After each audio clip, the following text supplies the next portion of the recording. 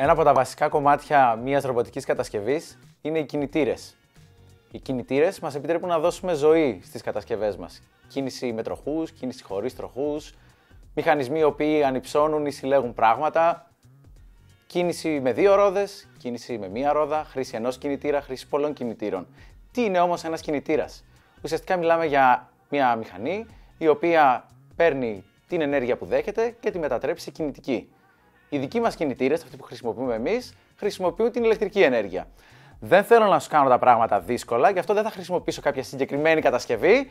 Γι' αυτό πάμε να δεις τρεις διαφορετικούς κινητήρες που κάνουν ακριβώς το ίδιο πράγμα προφανώς από το Spike Essential και το Spike Prime.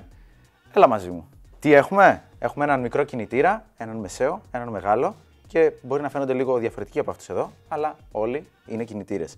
Έλα να δούμε πώς θα τους δώσουμε κίνηση. Δες πόσο απλά είναι τα πράγματα. Η λειτουργία είναι η κλασική, drag and drop. Παίρνεις το block και το σέρνεις μέσα στην οθόνη προγραμματισμού. Τι έχω, έχω έναν κινητήρα σε μία θύρα του hub, τον δεύτερο στη δεύτερη και τον τρίτο στη τρίτη. Επιλέγω λοιπόν τη θύρα που θέλω και πάρα πολύ απλά βλέπω ότι ο κινητήρας που βρίσκεται στη θύρα B θα τρέξει προς τα δεξιά για μία περιστροφή.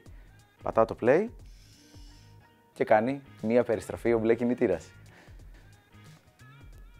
Λοιπόν, προφανώς αυτό είναι κάτι πάρα πολύ απλό και μπορούμε να κάνουμε πιο σύνθετα και πιο πολύπλοκα πράγματα.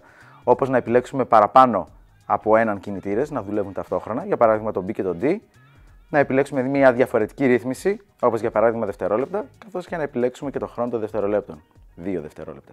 Πατάμε το play και τότε θα κάνουν μια περιστροφή και οι δύο για δύο δευτερόλεπτα. Προφανώς σε έναν κινητήρα δεν μπορώ να ελέγξω μόνο τη φορά περιστροφής ή την ποσότητα του χρόνου ή των περιστροφών που θα κάνει, μπορώ να ελέγξω και την ταχύτητά του.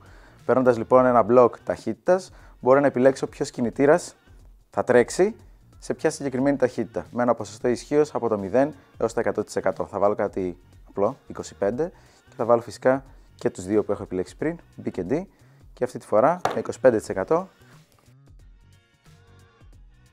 Και για κλείσιμο θα κάνουμε κάτι διαφορετικό. Θα βάλουμε και τους τρεις να κινηθούν και στη συνέχεια θα τους βάλουμε να επιστρέψουν και στην αρχική τους θέση.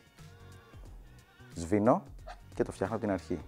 Θα βάλουμε λοιπόν να κινηθεί πρώτα ο B, θα βάλουμε στη συνέχεια ο D,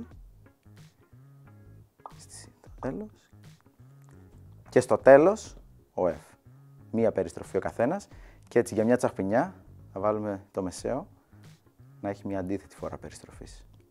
Και στο τέλος θα επιστρέψω στην αρχή της θέση.